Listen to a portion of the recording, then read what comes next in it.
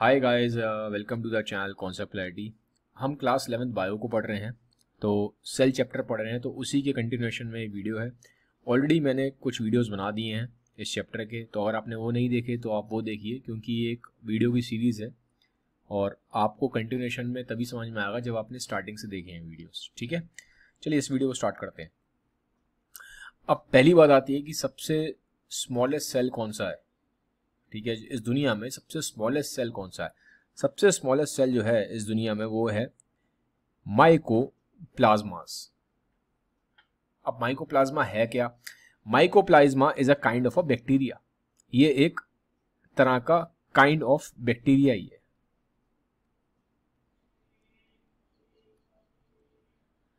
अब डिफरेंस क्या है? इसमें और अगर हम बैक्टीरिया की बात करें तो ये देखो, ये माइकोप्लाज्मा है। ये इस तरह की माइक्रोप्लाज्मा ये इमेज ली हुई है माइकोप्लाज्मा की। जो डिफरेंस है बैक्टीरिया में और माइकोप्लाज्मा में वो ये है बैक्टीरिया में होती है सेल वॉल माइकोप्लाज्मा में सेल वॉल नहीं होती है। माइकोप्लाज्मा में सेल वॉल नहीं होती है। तो ये सबसे बड़ा डिफरेंस है, ये देखिए आप। ठीक है, ये रहा sorry the lack cell wall तो अब जब सेल वॉल नहीं होती तो क्या होगा? जो एंटीबायोटिक्स होते हैं, जैसे अगर आपको कोई इन्फेक्शन होता है बैक्टीरिया का तो जब आपको बैक्टीरिया का इन्फेक्शन होता है तो आप दवाई खाते हो, उन दवाइयों का नाम होता है एंटीबायोटिक्स। एंटीबायोटिक्स। ये एंटीबायोटिक्स मालूम है क्या करती हैं? बैक्टीरिया के अराउंड सेल वॉल होती है तो ये सेल वॉल पे अटैक करती है। सेल वॉल पे अटैक करती हैं। तो ये जो मेडिसिन होती हैं जो हम बैक्टीरिया को मारने के लिए खाते हैं, ये बैक्टीरिया की सेल वॉल पर अटैक करती हैं। बट माइक्रोप्लाज्मा में सेल वॉल है ही नहीं। तो जब सेल वॉल नहीं है तो माइक्रोप्लाज्मा में एंटीबायोटिक्स काम नहीं करेंगे। तो ये बहुत बड़ा डिफरेंस है। एंटीबायोटिक्स बैक्टीरिया के लिए काम करते हैं बट माइक्रोप्लाज्मा में काम नहीं करेंगे, क्योंकि माइक्रोप्लाज्मा के अराउंड सेल वॉल नहीं है। ठीक है? तो इंपॉर्टेंट चीज़ें याद रखिएगा। अब हम बात करते हैं कि दुनिया में सबसे बड़ा सेल कौन सा है? सबसे बड़ा सेल है ऑस्ट्रिच का।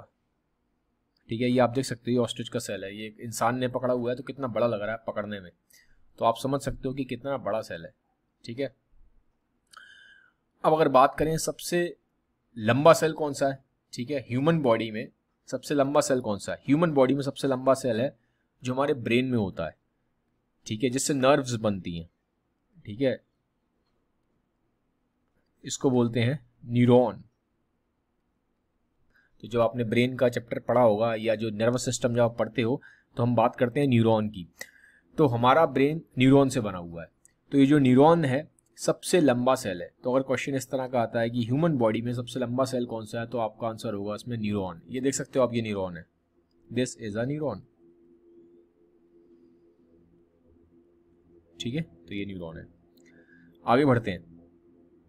अब अगर बात करते हैं स्मॉलेस्ट सेल की ह्यूमन बॉडी में स्मॉलेस्ट सेल कौन सा है? ह्यूमन बॉडी में स्मॉलेस्ट सेल है स्पर्म ये देखो, ये ऐसे होता है। ह्यूमन बॉडी में स्मॉलेस्ट सेल है स्पर्म एक चीज़ ध्यान रखना, दुनिया में सबसे स्मॉलेस्ट सेल कौन सा है? ये जो हमने अभी देखा है माइकोप्लाज्मा दुनिया में। लेकिन जब हम बात करेंगे ह्यूमन बॉडी की तो ह्यूमन बॉडी में स्मॉलेस्ट सेल है स्पर्म इसी तरीके से दुनिया में सबसे बड़ा सेल कौन सा है? ऑस्ट्रिच का, जो भी हम देख के आए हैं। लेकिन अगर हम बात करें ह्यूमन बॉडी की तो ह्यूमन बॉडी में सबसे लार्जेस्ट सेल कौन सा है? वो है ओवम यानी कि egg egg cell egg cell किसमें होता है? फीमेल में.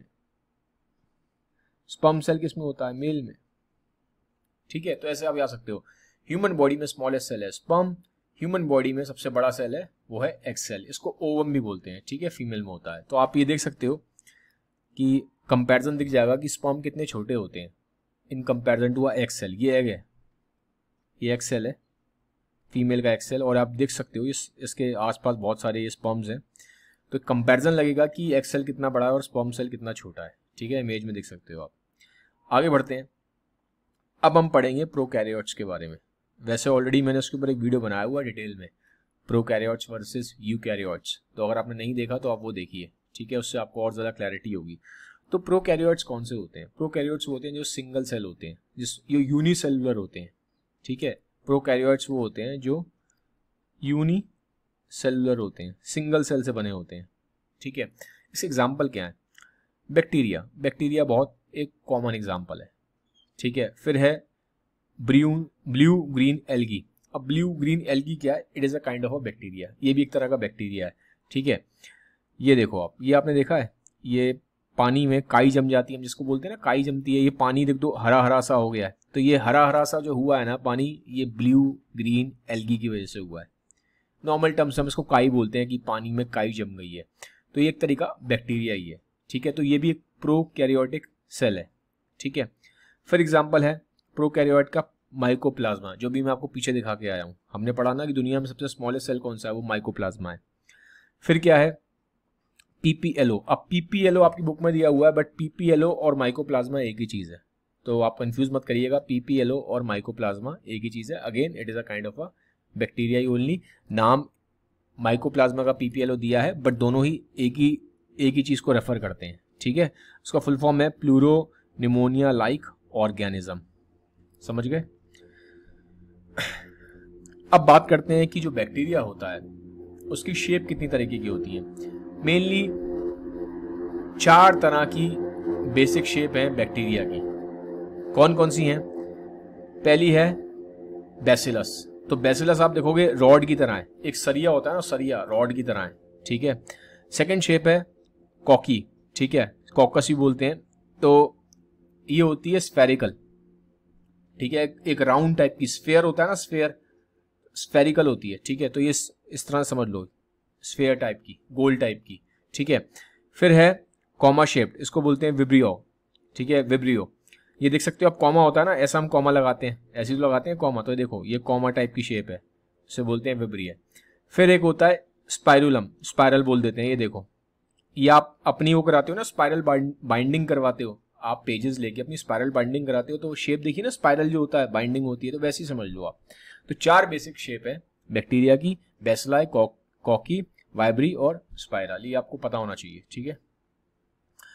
अब हम बात करते हैं थोड़ा सा प्रोकैरियोट के स्ट्रक्चर के बारे में। ये ऑलरेडी मैं बता चुका हूँ, फिर मैं आपको बता देता हूँ। ये देखो, जिसमें मेन चीज़ें हैं, थोड़ा सा आपको ध्यान देने की ज़रूरत है। बाकी तो जब हम डिटेल में पढ़ेंगे बैक्टीरिया का स्ट्रक्चर तब देखेंगे। मैंने आपको बताया था, जो बैक्टीरिया होता है, उसमें आप देखेंगे, बीच में डीएनए पड़ा होता है। कोई प्रॉपर न्यूक्लियस नहीं होता, ठीक है? और ये जो डीएनए होता है, ये होता है सर्कुलर ये बहुत इंपॉर्टेंट है। सर्कुलर डीएनए होता है और कोई न्यूक्लियस नहीं होता, बीच में ऐसे डीएनए पड़ा होता है। ठीक है? अब इसके साथ साथ एक चीज़ और इंपॉर्टेंट है इसमें। एक डीएनए ये तो हो गया जो बीच में डीएनए पड़ा हुआ है। एक, ये अब ये क्या है? ये पूरा जो देखते हो आप, ये पूरा पूरा ब्लू ब्लू ब्लू पड़ा हुआ है। लिक्विड ये लिक्विड पूरा ब्लू क्या है? ये साइटोप्लाज्म है। ठीक है? सेल के बारे में आपको पता होगा। साइटोप्लाज्म जितना भी न्यूक्लियस के बाहर का पूरा स्ट्रक्चर होता है ठीक है, जो भी होता है न्यूक्लियस के बाहर पूरा, उसको हम साइटोप्लाज्म बोलते हैं। तो साइटोप्लाज्म में भी एक डीएनए पड़ा होता है। एक तो डीएनए देखो ये रहा, जो मेन बीच में पड़ा हुआ है, ठीक है ना? सर्कुलर डीएनए इसको न्यूक्लियोइड भी बोलते हैं बैक्टीरिया के केस में। एक डीएनए इसका साइटोप्लाज्म में पड़ा होता है, इसको हम बोलते हैं प्लाज्मिड ठीक है? तो ये एक्स्ट्रा डीएनए है, एक तरीके से। प्लाज्मिड क्या है? एक एक्स्ट्रा डीएनए है। और ये कहाँ पे है? ये होता है आपका साइटोप्लाज्म में। अब ये क्यों है? इसका अगर हम बात करें, ये प्लाज्मेट वाला जो एक्स्ट्रा डीएनए ये क्यों है? देखो, एक सबसे बड़ा जो बेनिफिट है, जो प्लाज्मेट बैक्टीरिया को देता है, वो ये देता है कि ये बैक्टीरिया को रेजिस्टेंट बना देता है। रेजिस्टेंट किसके खिलाफ बना देता है? एंटीबायोटिक्स के खिलाफ। एंटीबायोटिक्स क्या होते हैं? एंटीबायोटिक्स बैक्टीरिया को मारते हैं। हम दवाई खाते हैं एंटीबायोटिक्स, वो बैक्टीरिया को मारने के लिए खाते हैं। तो बैक्टीरिया के लिए तो नुकसानदायक है ना एंटीबायोटिक तो बैक्टीरिया क्या करता है? बैक्टीरिया भी फाइट बैक करेगा। तो उस टाइम पे ये बहुत काम आता है बैक्टीरिया के। ये बैक्टीरिया का दोस्त है। ये हेल्प करता है बैक्टीरिया की। कैसे हेल्प करता है? वो जो एंटीबायोटिक्स हमने खाई है ना बैक्टीरिया को मारने के लिए, ये प्लाज्मिड लड़ता है उन एंटीबायोटिक्स से। एक तरीके से बैक्टीरिया को बचाता है एंटीबायोटिक्स से। ठीक है? तो बैक्टीरिया पे एंटीबायोटिक्स फिर असर नहीं करती। अगर प्लाज्मिड सक्सेसफुल हो जाए तो। ठीक है? तो ये देखो। It makes resistant to antibiotics plasmid जो है डीएनए इसका मेन अगर आप देखोगे, काम है, वो ये है कि जो बैक्टीरिया है, उस पर एंटीबायोटिक्स असर ना करें। तो ये रेजिस्टेंट बनाता है बैक्टीरिया के सेल को एंटीबायोटिक्स के लिए। ठीक है? तो ये चीज़ आपको ध्यान रहनी ज़रूरी है।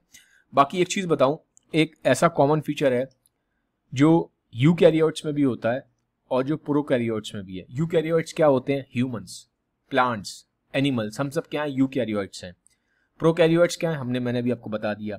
तो आप मुझे बताओ, एक ऐसा स्ट्रक्चर जो प्रो कैरियोट्स में भी है और जो यू कैरियोट्स में भी है। ठीक है? और उसका एक हिंट देता हूँ मैं आपको, उसकी मेम्ब्रेन नहीं होती। मेम्ब्रेन नहीं होती यू कैरियोट्स में भी होता है प्रो कैरियोट्स में भी होता है। तो मुझे कमेंट सेक्शन में बताओ, उस स्ट्रक्चर का नाम क्या है। ठीक है? तो वाइज ये था वीडियो जल्दी एक नई वीडियो के साथ आऊँगा। अगर वीडियो मेरे अच्छे लगते हैं तो काइंडली इसको सबके साथ शेयर ज़रूर करिएगा। Have a nice day bye take care